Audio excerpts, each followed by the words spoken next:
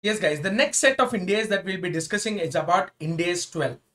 Ind AS 12 is a direct comparable standard to AS 22, which also deals with accounting for taxes on income, while Ind AS 12 talks about income tax. Now, apart from the fact that both the standards will deal with a similar concept of accounting for taxes in the form of current tax and deferred tax, nothing else in the standards are similar. The reason is your AS22 earlier under IGAAP or your Indian GAAP was basically following an income approach, which is income approach basically means the net profit as per your P&L has certain adjustments before you get into taxable income as per income tax. The difference between both of them is explained in the form of Ind AS 12 and what is the accounting effect of it.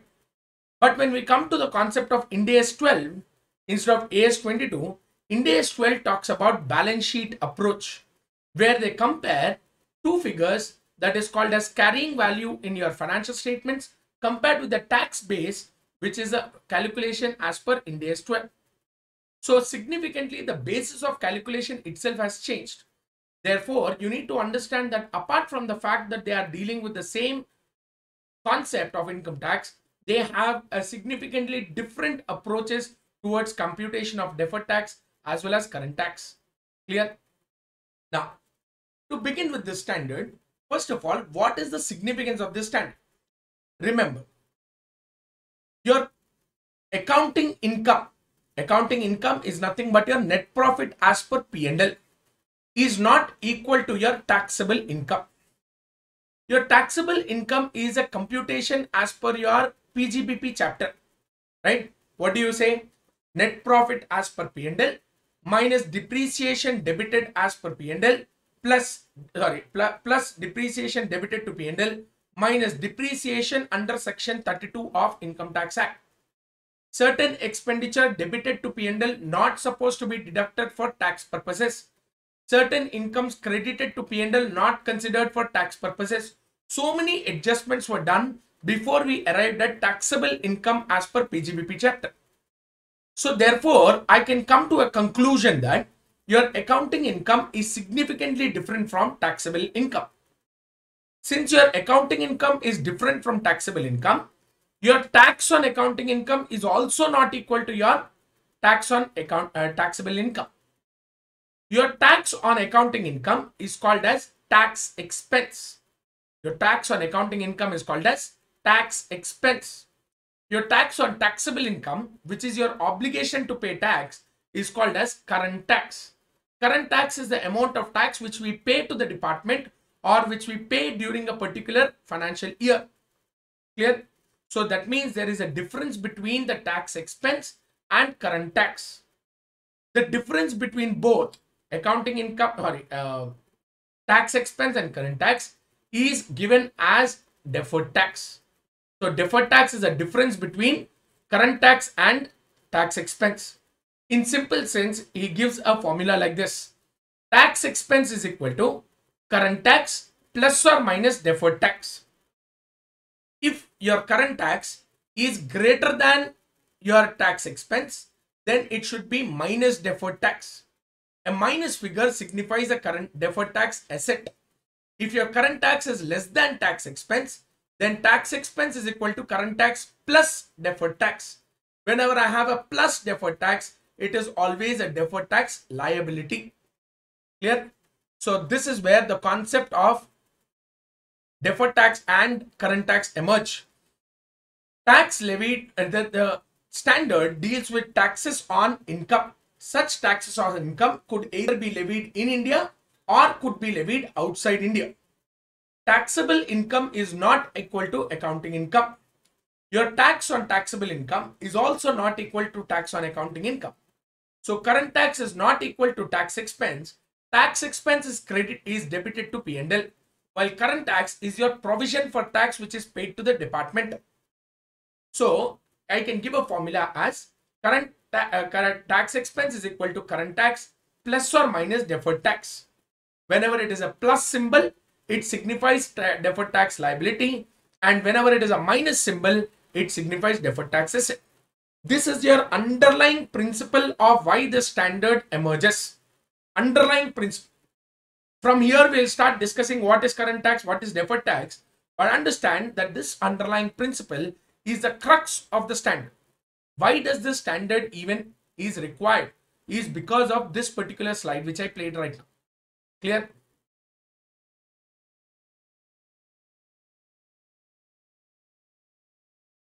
What is current tax? Current tax is a tax payable or receivable in respect of taxable income or tax losses during a particular reporting period. So current tax is something which is derived as per the prevailing tax laws. So in India, the prevailing tax law is Income Tax Act 1961. According to Income Tax 1961, whatever is the tax payable or a tax refund in respect of taxable income, that is nothing but your tax uh, taxable profits or tax losses during a period is called as current tax. Remember, current tax is always measured as per prevailing tax laws. In India, the prevailing tax law is Income Tax Act 1961. So according to Income Tax 1961, any tax payable or receivable in respect of taxable income and losses during the period should be considered as current tax. Clear? A current tax can be reported either as an asset or a liability depending upon the tax paid and tax payable. If the amount payable under the as per the department or as per your income tax act is less than the amount of tax already paid in the form of advance tax or TDS, you report it as an asset. If your amount of advance tax or TDS is less than the amount of amount payable as per income tax act, you report it as a liability. So current tax can either be reported as an asset or can be reported as a liability. So generally we have an asset, uh, the, these current tax reported in the form of provision for tax. Provision for tax is a current tax item. It is a tax payable or receivable on taxable income and tax losses computed as per prevailing tax laws. Clear? I measure current tax which is current tax asset or a liability based on tax expected to be recovered from the department or tax expected to be paid to the tax authorities using a tax rate which is enacted or substantively enacted on reporting date. What do you mean by tax rates which are enacted or substantively enacted? Guys, let's say, for example, the finance uh, commission or the finance ministry has given me a certif uh, a particular has called upon a particular press conference. And they said the current tax is being reduced from 30% to 22% this is what happened earlier right? To 25% let's say. 5% cut in current tax. In such cases let's say it happened in march but as on 31st march the law is not yet enacted for.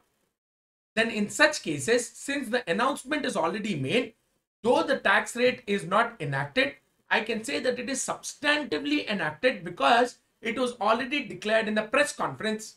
It is only the government order which was pending. So these are future tax rates which are virtually certain to apply. If not today, I will get the GO tomorrow. But they are virtually certain to apply since the highest, the appropriate authority of the government has already declared on cutting the tax rate. So therefore, your current tax should always be measured using tax rates which are enacted or substantively enacted on a reporting date. How do I present this concept of current tax? Current tax should be presented in the statement of P&L as well as in balance sheet. In the statement of P&L, I'll have to report tax expense as a combination of current tax and deferred tax. This is what we have seen here. The tax expense is debited to P&L. What is tax expense? Current tax plus or minus deferred tax. So the current tax should be should be presented on in the face of P&L or uh, for the impact of all the items which are debited or credited in the P&L. However, certain items which are presented in the OCI or certain items which are presented in statement of changes in equity, I will recognize current tax within OCI or within other equity. Clear? Current tax asset and liability should be presented under current assets and current liabilities based on their finan- uh, based on their nature and should always be non-financial in nature. They are not financial assets and financial liability. They should always be presented as non-financial assets and non-financial liabilities. Clear? So I'm saying for all the items which are debited and credited in P&L, the amount of current tax should be presented in the statement of P&L. For certain items which are not recognized in P&L but are recognized in OCI, then I will recognize the current tax of on each item of OCI independently. For certain effect which is given in statement of changes in equity directly, not reported in either P&L or OCI, current tax also should be reported only in other equity. Clear? Now comes the concept of deferred tax. So remember guys, we don't have significant discussion on current tax. If you observe, we only said current tax is tax payable as per the prevailing statute. We just said that there is current tax asset or current tax liability depending upon whether the tax payable is greater or less than the tax already paid in the form of advance tax or TDS. And we said we measure it based on either tax rates which are applied or substantively applied on reporting date. That's all we discussed. Why are we not discussing further on current tax? We are not discussing any further on current tax because determination of current tax is based on the prevailing statute. Prevailing statute Income Tax Act 1961 is voluminous enough to decide how to calculate current tax. Ind AS 12 need not tell you how to calculate current tax. Ind AS 12 will just say calculate current tax as per prevailing statute. Prevailing Income Tax Act 1961 it doesn't have to specify each and every provision of current income tax act 1961 all over again.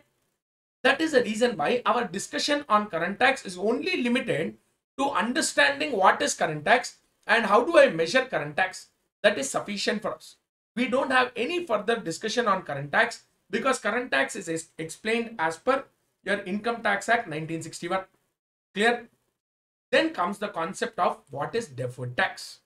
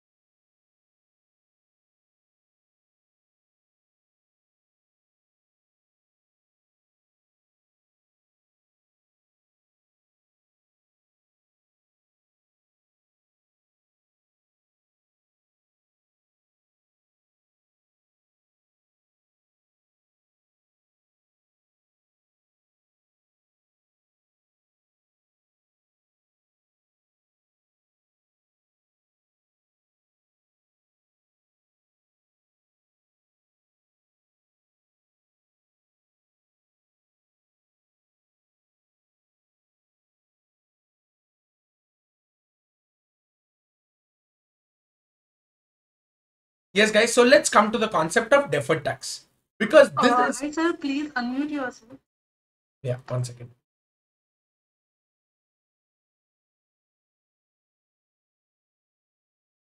Yes, guys. So now we come to the concept of deferred tax.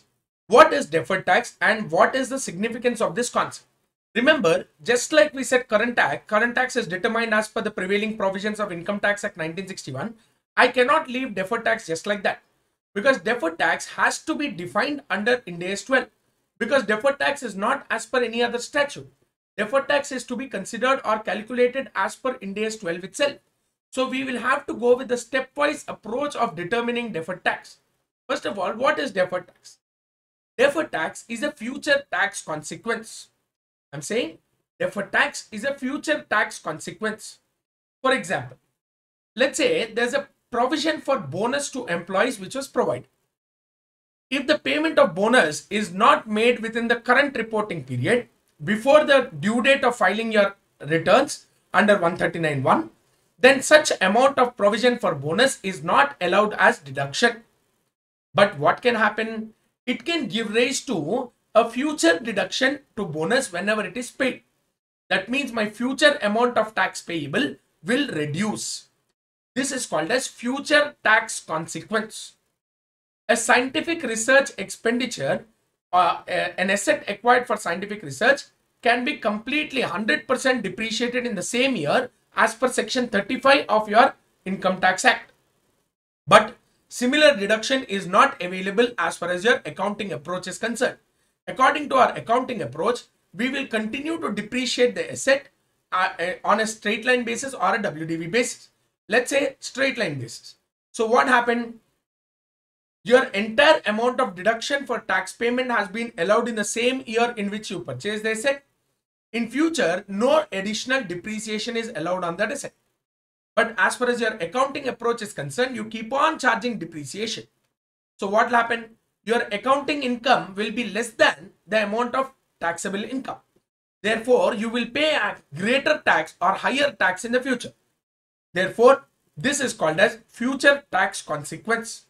A future tax consequence can either result in a higher tax liability or a reduction in tax liability. It arises due to recovery of the carrying value of the asset or settlement of a liability in future. I'm saying the future tax consequence arises either due to recovery of carrying value of an asset or settlement of a, of a liability in future. Such future tax consequence can either increase the tax liability or can reduce the tax liability. Any increase in tax liability will be recognized as a deferred tax asset sorry def should be recognized as a deferred tax liability guys i'm sorry for that guys whenever there is an additional liability in future which will result in a higher tax payment it should be recognized as a deferred tax liability i think i wrote it exactly reverse please try to rectify that a future tax consequence resulting in a higher tax liability in future will result in deferred tax liability whenever there is a future tax consequence of savings in tax or a reduction of tax liability, then it is a benefit to the enterprise. Such benefit will be recognized as deferred tax asset. Clear? Increase in future tax liability is deferred tax liability. Decrease in future tax liability is deferred tax asset. This is an in short the concept of deferred tax. How do I identify this deferred tax? My determination of deferred tax involves eight different steps. First, to identify the carrying value of assets and liabilities. Second, to calculate the tax base of these items of assets and liabilities.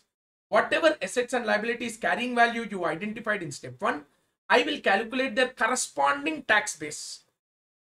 Think about a bare Excel sheet. Okay. First column carrying value of assets and liabilities that is the book value as it appears in your balance sheet. Second column is tax base. We identify the tax base of every corresponding item of asset and liability. The difference between 1 and 2, the difference between the carrying value and the tax base which we calculated in step 1 and step 2 is called as temporary difference. Is called as temporary difference. AS22 language is timing difference. You don't use the word timing difference here. We use the word temporary difference. Step 4, we classify the temporary differences. We call these temporary differences as taxable temporary differences or deductible temporary differences in step 4. Finally, step 5, we measure the amount of deferred tax. Your measurement of deferred tax should be determined based on a tax rate. So your step 6 is your tax rate. Then you come into recognition and presentation of deferred tax in your financial statements. I'll repeat. First start with identifying the carrying values. Corresponding to these carrying values, I have to identify tax base. Comparing 1 and 2, I will get temporary differences. These temporary differences should be classified. Then you determine a tax rate and try to measure what is the amount of deferred tax. After you determine the amount of tax rate and deferred tax, recognize the deferred taxes asset or liability and present the deferred tax asset or liability in your financial statements. This is my stepwise approach as far as your determination of deferred tax is concerned. Clear? Let's try to break down each step and understand. First step, I will not explain any further because first step is only about carrying value of assets and liabilities, which is nothing but your book values. after depreciation, after impairment, whatever value of asset and liability is appearing in the balance sheet, the same value will be considered as step one carrying value of asset and liability. Step two onwards, we will have to take up the discussion. What is computation of tax base? My computation of tax base can be broken down into three parts. Tax base of assets, tax base of liabilities. For all those assets and liabilities where under step 1 you identified carrying value, we have to find out their corresponding tax base of assets and liabilities. But there are also tax base of items for, where, for which there is no carrying value in the balance sheet. There is no carrying value in the balance sheet, but there is a tax base for these items. So this third one is a very peculiar nature. Very peculiar in nature because that item is not there in the balance sheet only. When you presented your balance sheets of assets and liabilities, there is no such item in the assets and liabilities in the balance sheet. But there is a tax base for such item. We will discuss about this concept separately. But first think about whenever in your step one, where we have taken carrying value of assets and liabilities, tax base is the corresponding value of assets and liabilities has to be identified in step 2. How do I determine tax base of assets and tax base of liabilities? First tax will start with tax base of an asset. A tax base of an asset is an amount which is deducted for tax purposes against taxable economic benefits arising from the recovery of carrying value of the asset. I'll repeat. I said an amount that will be deducted for tax purposes against taxable economic benefits arising from the recovery of carrying value of asset. What does this mean? Let's say, put it like this. If for suppose, I have an inventory which is valued at 2 lakhs at cost in my books of accounts. How do I recover the value from inventory? By sale of inventory. I sold the inventory at 2 lakh 50,000 rupees what is the amount of economic benefit derived from sale 2 lakh 50 what is the amount of tax which i have to pay on that? 2 lakh 50 minus 2 lakhs. So therefore 2 lakhs is reduced from the value of 2 lakh 50 that 2 lakhs is called as tax base. The amount that will be deducted for tax purposes against taxable economic benefits arising from the recovery of carrying value of an asset. Clear? I'm saying the amount that can be deducted for tax purposes against the taxable economic benefits arising, from the recovery of carrying value of the asset is called as a tax base of an asset. Now my question is, economic benefits arising from carrying value of an asset, from recovery of carrying value of the asset, is it always taxable? Let's say I have a debtor. Amount collected from a debtor economic benefits arising from the recovery of a debtor, is it taxable? No. I have an advance. Advances given to uh, my, uh, let's say my employee. The employee has repaid the advance which I gave. The repaid advance, does it become a taxable economic benefit? No. It is just an economic benefit which is not subjected to tax. So whenever I'm, I have a cash at bank, it is recovered in the by withdrawal from bank. I withdrew from bank. Does it become taxable in my hands? No. So not all economic benefits arising from recovery of carrying value are taxable. If economic benefits derived from the carrying value of an asset are not taxable, then your tax base is equal to carrying value. Then your tax base and your carrying value are same if your tax base and carrying value are same, then the temporary differences identified in step 3 are 0. Then 0. So data, bill received, cash in hand, cash at bank, advances, all these tax bases are equal to carrying value. My step 3 temporary differences are 0 in this case. What is the tax base of an asset? The amount that shall be deducted, that shall be deducted for tax purposes against the taxable economic benefits arising from the recovery of carrying value of an asset. Therefore, if I am saying that the tax, the economic benefits derived from, a, from the carrying value of an asset are not taxable, tax base should be considered as equal to the carrying value of the asset. I've given the example of finished goods. Cost is 75,000. On sale, you will recover 1 lakh, which is taxable economic benefits derived from recovery of carrying value of the asset. This taxable income is equal to 1 lakh economic benefit derived from sale of asset minus 75,000, which is cost of the asset. So 75,000 is deducted for tax purposes, which should be considered as tax base of an asset. Clear? How do I determine tax base of a liability? A tax base of a liability is equal to carrying value of the liability minus amount deductible for tax purposes in future. I'm saying carrying value of the liability minus amount deductible for tax purposes in future. Let's say provision for bonus to employee. That provision for bonus to employee, let's say is unpaid on the date of filing your uh, income tax return. Upon last date of filing your income tax return, the amount of bonus is still unpaid. Therefore, the amount cannot be allowed as deduction in the current year, but is eligible for deduction in the subsequent year. In such case, carrying value of liability minus the amount deductible for tax purposes in future is the entire amount of bonus which when paid will be allowed as deduction. Therefore, the tax base of such liability is considered as zero if it is not paid within the due date of filing the return. What if the amount is already paid off? Before the filing of income tax return, due date of filing your income tax return, the amount of bonus has been paid. What is the amount deductible in future? In future, nothing is allowed as deduction because the entire deduction is allowed in the current reporting period itself.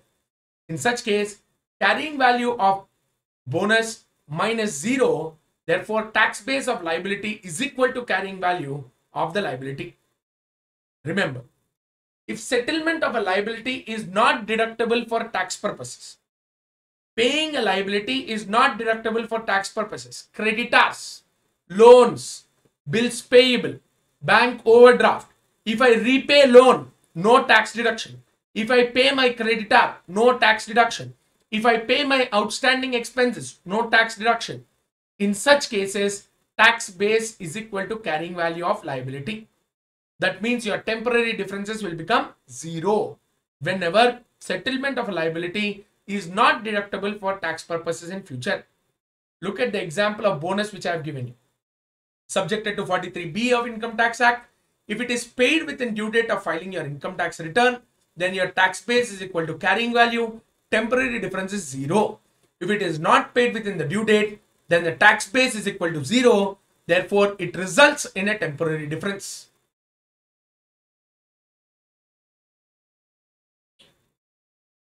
Tax base of items where there is no carrying value. I'll give you an example. I'll tell you. Let's say I have preliminary expenses. According to your Income Tax Act, your preliminary expenses are allocated to P&L over 5 years period. But according to your accounting uh, uh, knowledge, you can you can uh, uh eliminate the preliminary expenses against securities premium if available. So let's say they were adjusted against securities premium for your accounting purposes. There is no carrying value of preliminary expenses existing in the balance sheet anymore. But is there a tax base? Yes. Because this amount will give a tax deduction in future or reduces the tax liability in future. Therefore, there is a tax base for that item. Certain items are charged off to P&L or adjusted to reserves of accounting purposes as against for tax purposes they are deferred and amortized. In such cases where you have a tax base, you have to determine the tax base even though there is no carrying value of the item. So carrying value is zero, but a tax base should be identified. It results in temporary difference as per step three. Preliminary expenses, I've given you the example. Accounting treatment, charge it off to P&L or adjusted against free reserves or securities premium. But for tax treatment, it should be deferred and amortized over 5 years period. So therefore, in certain cases, you will find that the items have no carrying value, but they do have a tax base.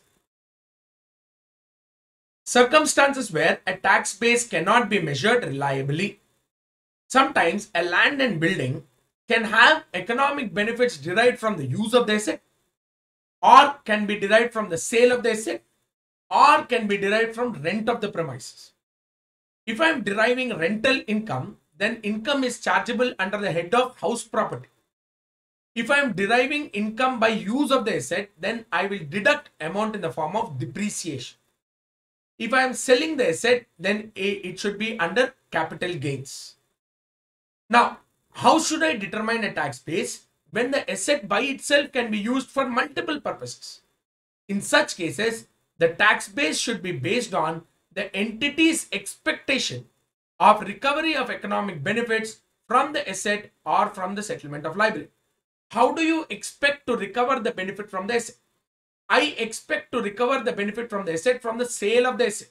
Then tax base should be computed based on what would be the tax deductible amount when they sell the asset. Let's say I expect to derive income from the asset from use of the asset. In such cases, the tax base should be based on the WDV or written down value as per income tax purpose. So this way, it should be the tax base on such items should be computed based on the entity's expectation to derive benefits from the use of the particular asset. So this is the second step that we have covered. The second step is regarding computation of tax base. What is the tax base of an asset? Amount deductible for tax purposes against the taxable economic benefit arising from the recovery of the carrying value of the asset. Tax base of a liability is equal to carrying value then minus amount deductible for tax purposes in future. Sometimes there might not be a carrying value, but we still have to determine the tax base of an asset. Sometimes you may not be able to identify the tax base because the, the asset can be deriving income in multiple ways. You can derive income from a property from rent, from sale, or from use. In such cases, tax base should be measured based on or should be identified based on the expected use of the enterprise. Clear?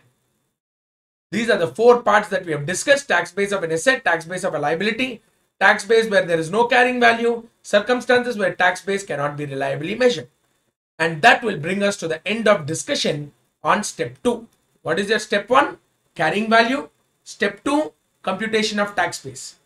Once we got these two steps, we in Excel sheet think about an Excel carrying values were placed beside the tax base is identified in place. Third step is identifying or determining temporary differences. How do you determine temporary differences? Carrying value minus tax base.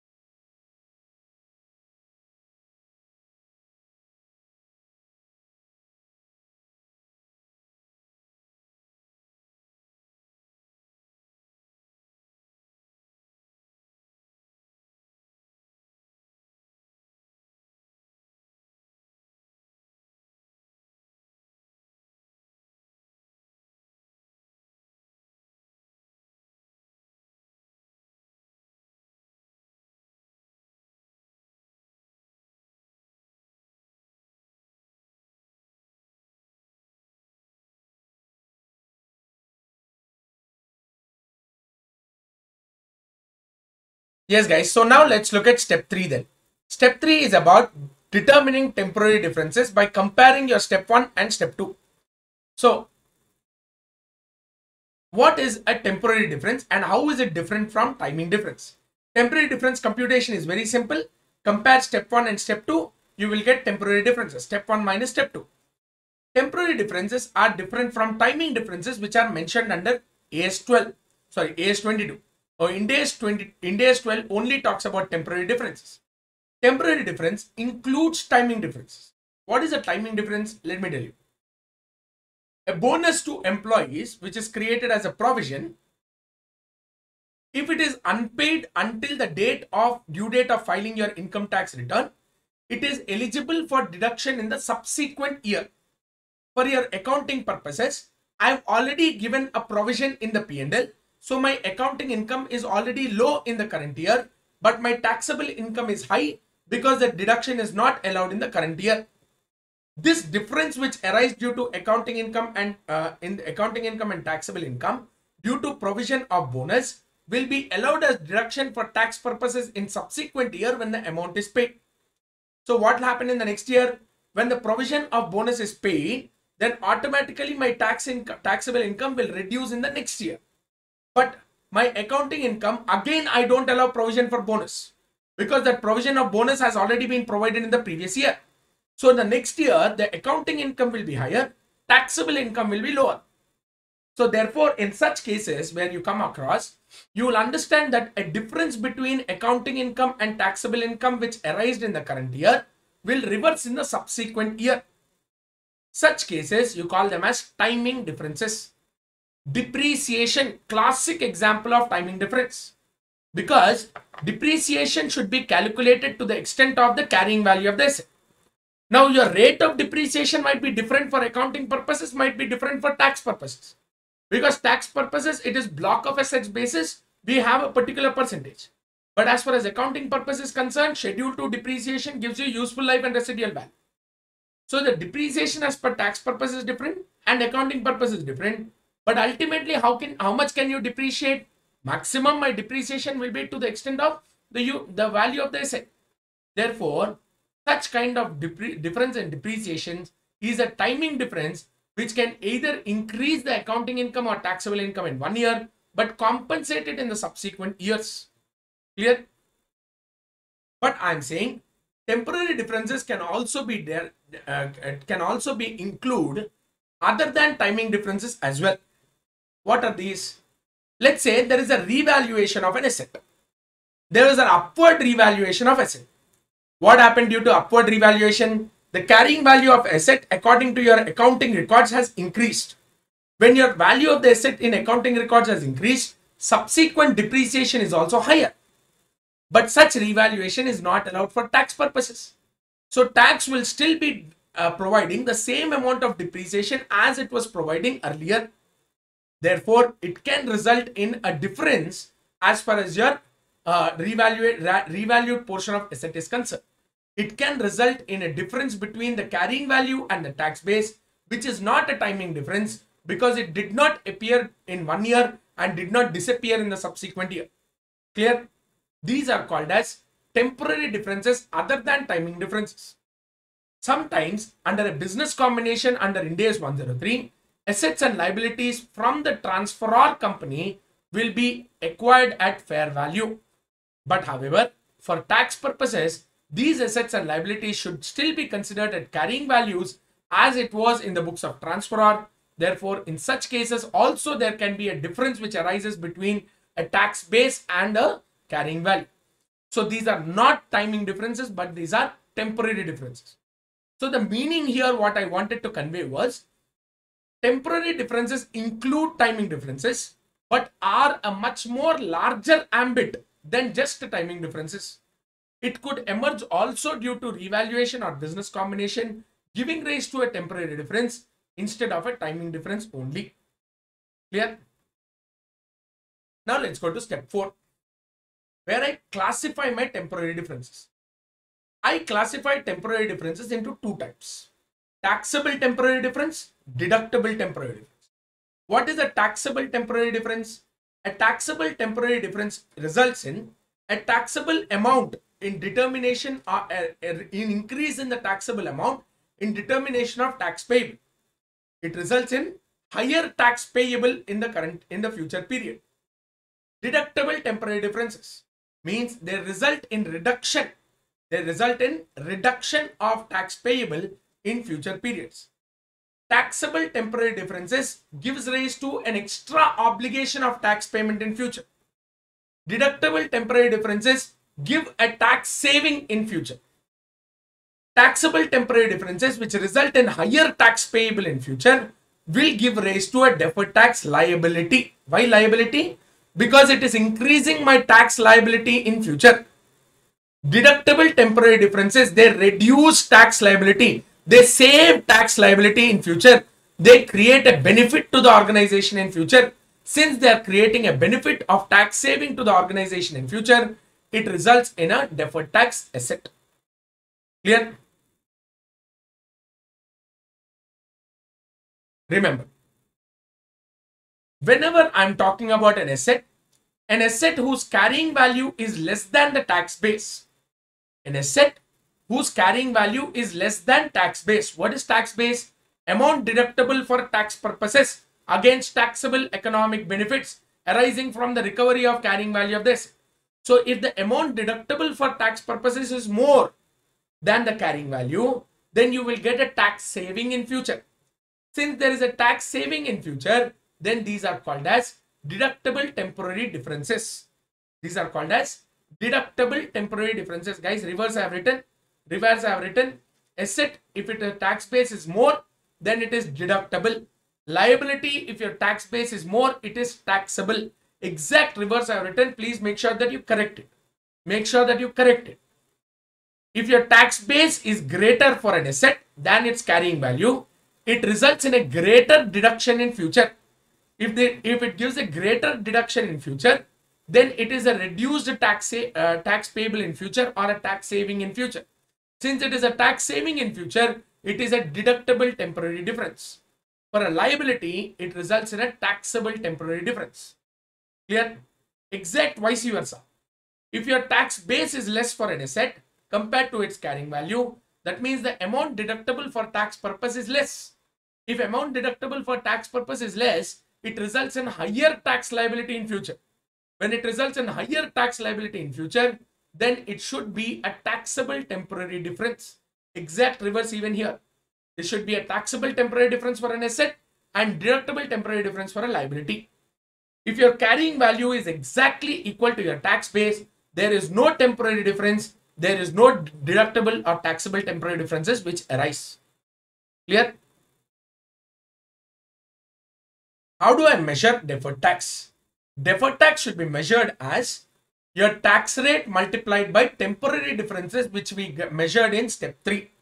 Step 3 temporary differences are nothing but carrying value minus tax base. This carrying value minus tax base called as temporary difference. If I multiply it with the tax rate, it gives me a measurement of deferred tax. What is tax rate? Determination of tax rate for computation of deferred tax. It is a real reliable estimate. What is a deferred tax? Future tax consequence. For what is the uh, tax rate applicable for measuring deferred tax?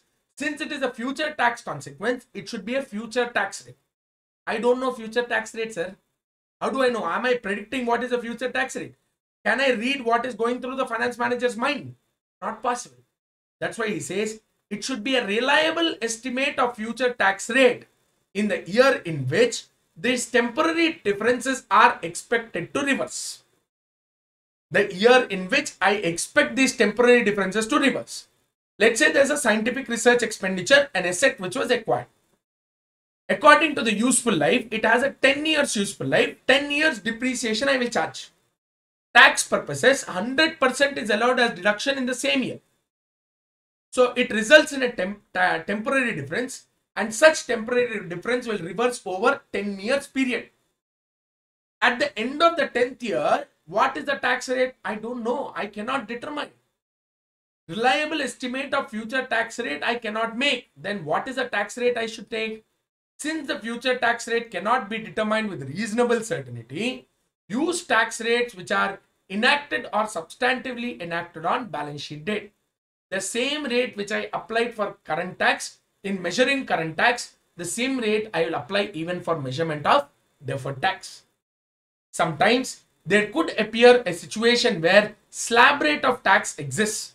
We don't have slab rate of tax because we are talking about companies but if there is a slab rate of tax which exists, that means for an individual when the Ind AS becomes applicable, as on today's date it is still not applicable, but if it becomes applicable, if there is a slab rate of tax, then I will use the formula of average rate of tax to determine the tax rate as per step 6.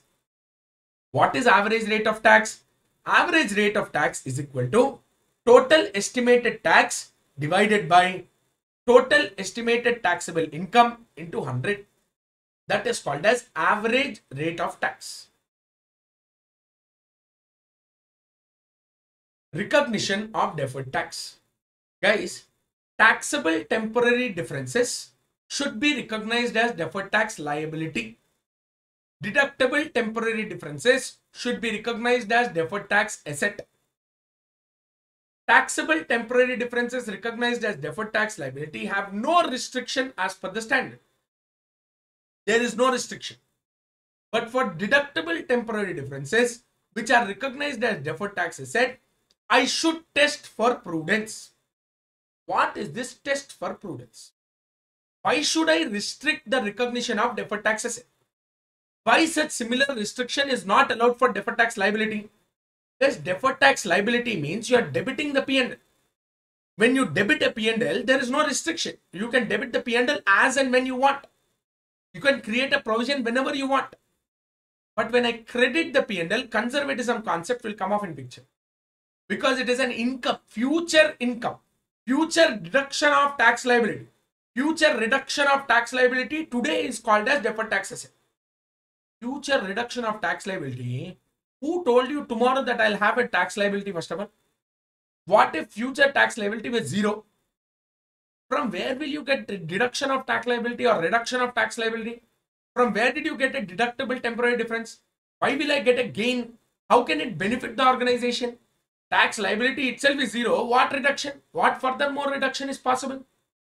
So that's why we say always test for prudence. For us to recognize a deferred tax asset, we have to test for prudence but there is no such test for deferred tax liability. You can happily recognize deferred tax liability for every taxable temporary difference. When it comes to deductible temporary differences, I'll have to apply this check for prudence and I'll have to estimate or I'll have to check whether it is passing the test of prudence before I recognize a deferred tax asset. What is this check for prudence?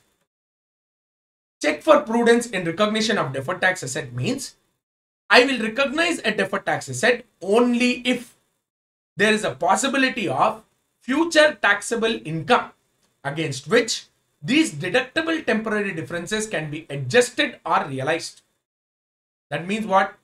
I should be certain that tomorrow I will have future tax liability. Against the tax liability, I will reduce this deferred tax asset. Got it? I will have sufficient taxable income in future against which your deductible temporary differences can be adjusted or realized. Remember guys, carried forward business loss, unabsorbed depreciation. What do these two have significance? They will reduce future tax liability. Whenever I have a tax liability in future, these carried forward business losses and unabsorbed depreciation can be adjusted. Therefore, it will reduce my tax liability in future. Since it is reducing tax liability in future, it should be recognized as deferred tax asset. But, but what is your check for prudence saying?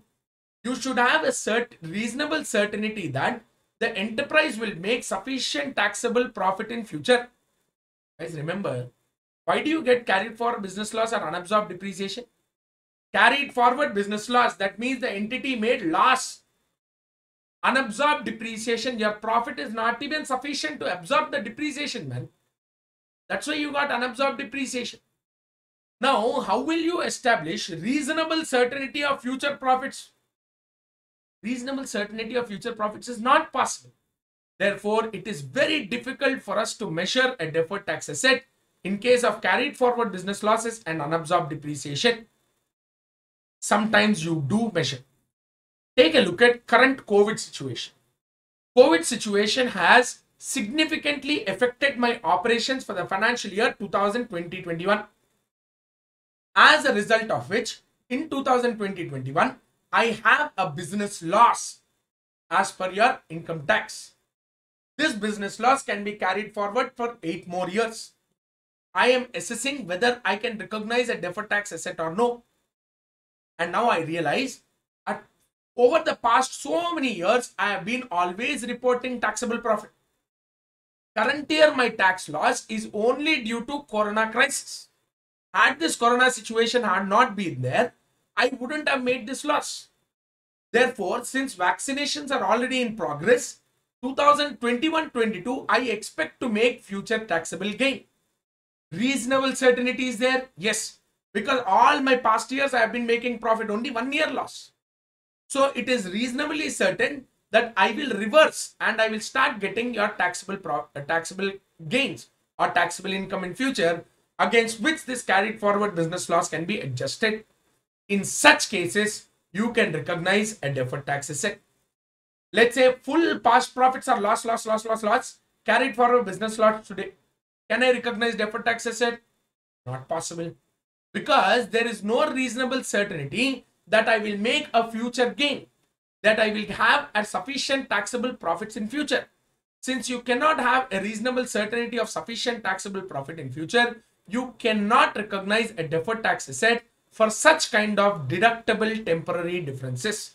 So no deferred tax asset should generally be recognized for unabsorbed depreciation and carried forward business loss.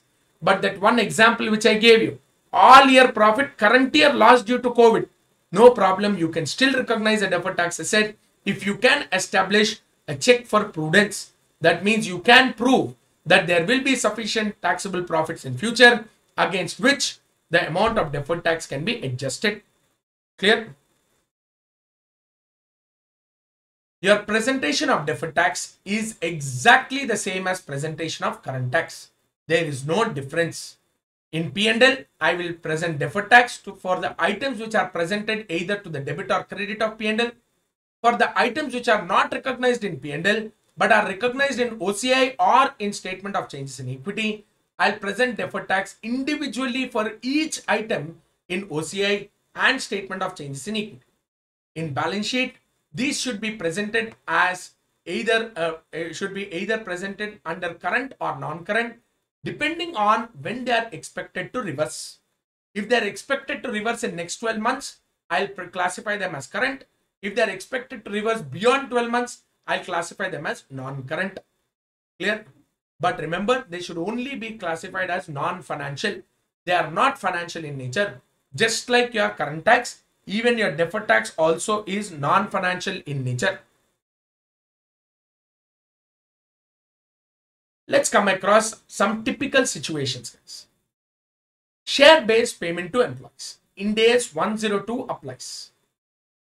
According to your Ind AS 102, expenditure on share-based payments should be recognized over the period of vesting on a straight line basis. On a straight line basis, I will recognize in the P&L over the period of vesting. But according to your tax purposes in measurement of taxable income, it is only allowed as deduction when the option is exercised by the employee. Therefore, 100% there is a timing difference which arises. You are creating a provision in accounting records. You are not creating the provision in tax records. Therefore, how, how do I calculate tax base? Carrying value of the liability minus amount deductible for tax purpose in future carrying value of liability I can calculate because carrying value of liability is the value which is already existing in my books to the extent of the provision which I already created. What is the amount deductible for tax purpose? The amount deductible for tax purpose should be computed based on the estimated number of employees who are expected to exercise. So therefore tax base should be measured based on market price per share on each reporting date market price per share on each reporting date. So let's say I have 100 employees. Uh, the market the market price is 100. They can exercise it at 60. Fair value is 40. Two years vesting period. So every year 20. 100 employees. So 2000. 2000 first year, 2000 second year, I debit. But let's say when I'm talking about tax base, it is carrying value of the liability minus amount deductible for tax purpose in future. What is the amount deductible for tax purpose in future? To the extent it will be, to the extent the options will be exercised by the employee.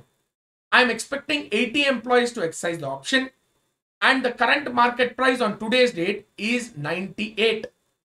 So basically 60 minus 98 is 38 rupees.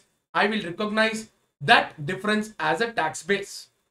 This is regarding share based payments of employees where a typical situation emerges. What is this concept of carrying backward of losses? Have you ever come across this concept of carrying backward of losses? In India, this is not there. But let's say carrying backward of losses is a simple situation like this. I had taxable income in current year, I paid tax. Future period when I make a loss, I can claim a refund of the tax paid for the previous years. India not available. But outside India, there are certain countries where carrying backward of losses is applicable. Therefore, in such cases, I can recognize a deferred tax asset if the enterprise has paid a tax liability in the current year, provided there is a reasonable certainty to believe that the enterprise will incur tax loss in future. Clear? So whenever there is a carrying backward of losses, I can recognize a deferred tax asset if I have paid tax in the current period, but I am expecting to have a tax loss in the future periods. In such cases, I can recognize deferred tax asset. India, not applicable. Not applicable. Withholding tax on dividends or corporate dividend tax, which recently got abolished. These cases, always remember CDT should be always an adjustment in your statement of changes in equity.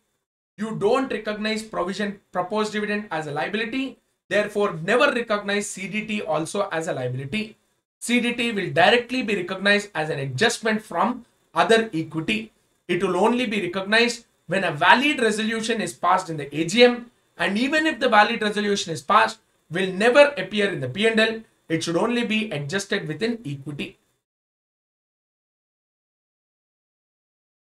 What is this indexation benefit on asset? Remember, whenever I have a fixed asset, let's say a land or a building, as years pass by from the date of acquisition, if it is not a depreciable asset, I'm restricting myself to land, let's say. If it is a depreciable asset, it is a different logic, guys. Let's take land. Carrying value of the land is a particular cost. There's no revaluation which is done as years progress by, the amount deductible for tax purposes in future. What is the amount deductible for tax purposes in future? Upon sale, I will have an increased cost or indexed cost which is adjusted. Therefore, if you take a logic like this, let's say the carrying value is 100, indexed cost is 200. Then in such cases, it results in a deductible temporary difference.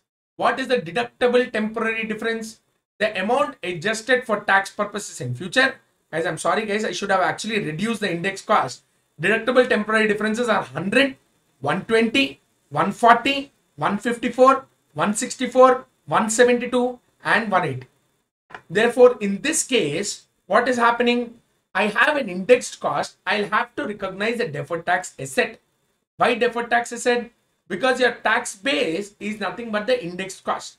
Your carrying value is the same throughout. Your tax base keeps on increasing. So there is a temporary deductible temporary differences which will emerge because of that. So to that extent, deferred tax asset can be recognized. It can be recognized only if I expect that the land will be sold in near future. Let's say the land is being used as my factory premises. I have been, I have established a factory shed on the top of it and I have been utilizing that land. Is it probable to generate economic benefits by sale of the land? No, going concern. I don't expect that land to be sold. Therefore, in such cases, I should not recognize a deferred tax asset. Look at what he's saying. Recognize deferred tax asset to the extent of indexation benefit available on certain assets if the enterprise intends to generate future tax benefits from sale of the asset rather than from continuing use. So I will recognize deferred tax asset to the indexation benefit only if I expect to recover the carrying value of the asset from sale rather than from continuing use. If the enterprise intends to generate taxable economic benefits from continuing use of the asset rather than from sale of the asset, then the enterprise should not recognize deferred tax asset even though indexation benefit is available. Guys, deductible temporary differences should be a, a difference of indexed cost and carrying value. Carrying value and index cost is the tax base. That's it, guys. With that, we come to the end of discussion on this concept of Ind AS 12.